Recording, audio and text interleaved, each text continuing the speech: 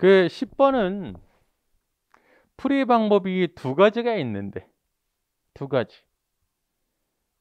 첫 번째는 지금 아, 물음이 X2년도 변동원가 계산에 의한 영업이익이잖아요. 그러면 음, 어떤 방법을 통해서 우리 변동원가 계산 파트에서 등식 있었잖아요. 전부원가 이익은 변동원가 이익 더하기 재고에 포함되어 있는 고정제조 간접원가 그걸 통해서 계산할 수 있고 또 하나는 어때요? 이제 이거는 기본적인 원칙적인 방법 어떻게 해야 돼요?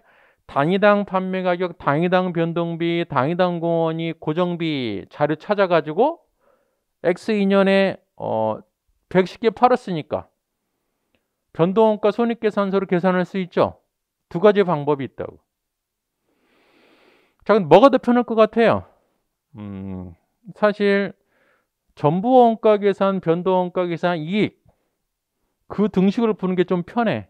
왜냐면 왜냐면 그걸로 우리 뭐만 알면 돼요.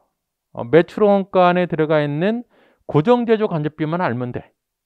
근데 두 번째 방법은 어때요? 판관비도 쪼개야 돼. 한 번 더 해야 된다고. 그렇죠? 자, 첫 번째 방법은 매출 원가만 고정 제조 원가 발라내면 되는데 두 번째 방법은 판관비에 있는 고정비도 발라내야 돼. 그렇죠? 어, 첫 번째 방법으로 볼게요. 자, 그러면 자, 이 매출 원가가 전부 원가 매출 원가인데 이 안에 들어가 있는 고정비를 어떻게 찾아낼 수 있을까? 이런 문제는 굉장히 많이 나와요. 이건 여러분 알고 계셔야 돼, 사실. 자, 원가 행태 구분할 때 원가 함수 추정해서 가장 많이 쓰는 방법이 뭐예요? 고저점법이라고. 그렇죠? 두 개의 자료만 있으면 우리는 변동비, 고정비 계산할 수 있어요. 자, 그런데 고저점법을 하려면 기본 전제가 있어야 돼요. 기본 전제가 바로 뭐냐면 고정 제조 간접비 총액은 동일해야 되고 조업도당 변동비도 동일한다는 가정이 있어야 돼요. 그쵸? 자, 우리 잘 해보세요. 뭐라고 돼 있어요? 음. 단, 두 기간에 당위당 판매 가격, 당위당 변동제 조 원가, 고정제조 간접 원가는 동일하다라고 돼 있잖아요. 아, 고조전법이구나. 음. 자, 그러면 이 17,600개 안에는 고정비, 변동비 들어가 있고요. 어, 얘도 고정비, 변동비 들어가 있죠. 정부 원가니까 발라내야 됩니다. 어떻게 발라낼까 보니까 일단은 엑셀랜드에 80개 팔았잖아요. 80개. 음, 그러면 우리한테 필요한 건 단기 발생 고정제조 간접원까지 요거의 고정비가 필요한 게 아니에요. 단기 발생 고정비가 필요한 거라고. 그러면 자, X 1년의 경우에 매출원가 17,600원은 80개에 대한 매출원가잖아요. 나누기 80개 하면 한 개당 전부원가 계산 나오죠? 전부원가, 제조원가, 전부 제조원가. 자, 얘를 계산하니까 얼마가 되냐면 220원이에요. 그러면 X1년에 발생한 총 제조원가는 자, 220 곱하기 100원 하면 22,000원이라고. 요게 바로 100개에 대한 총 원가죠. 그렇죠? 계산해 놨고 하나. 자, X2년도 봐야지. X2년.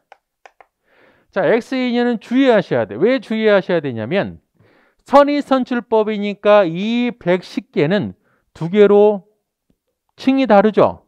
전기에 넘어온 거 20개 하고요. 단기 발생분이 90개입니다. 우리는 단기 발생분의 제조 원가를 뽑아내야 돼요.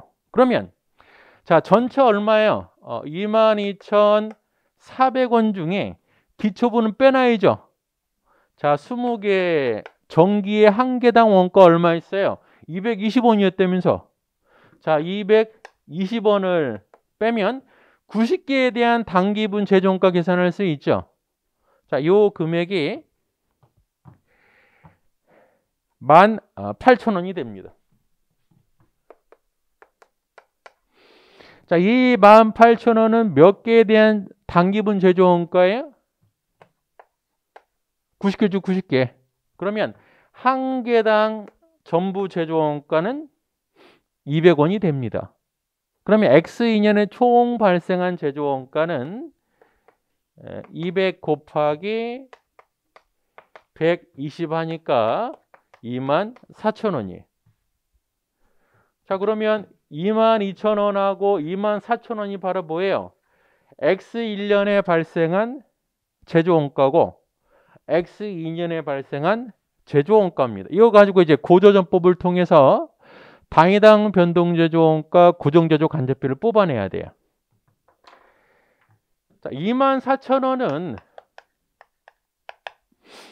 고정비는 모르겠고 그 다음에 몇 개예요? 생산량이 120개죠.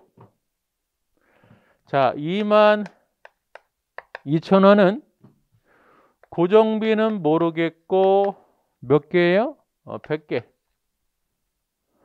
한번 빼볼까요? 자, 그러면 2,000원은 B 곱하기 20이 나오죠? 어, 그래서 B를 어, 계산하니까 100이 나오고 A 계산할 수 있죠. 어, 12,000원.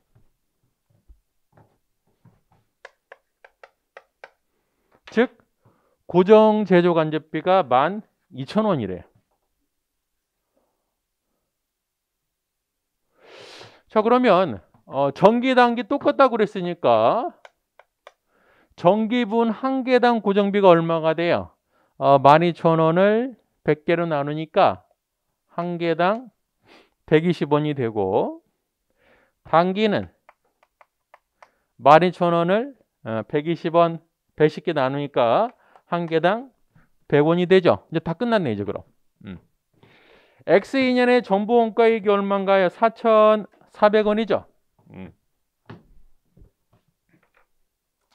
자, 전부 원가 4,400은 우리가 계산하려는 변동 원가 계산 X라고 두고요.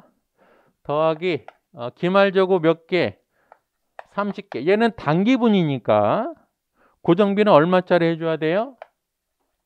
100원짜리 해줘야 되고 기초는 20개. 얘는 정계에서 넘어왔으니까 단위당 고정비는 얼마가 돼요? 120원이죠. 계산할 수 있죠. 어. 또 이것도 실수할 수 있는 포인트가 여러 가지가 있죠. 어. 일단 요거 요거 구분하시는 거 하나 하고요. 어. 그 다음에 이제 고조전법 계산하는 거. 답은 그래서 어, 4번.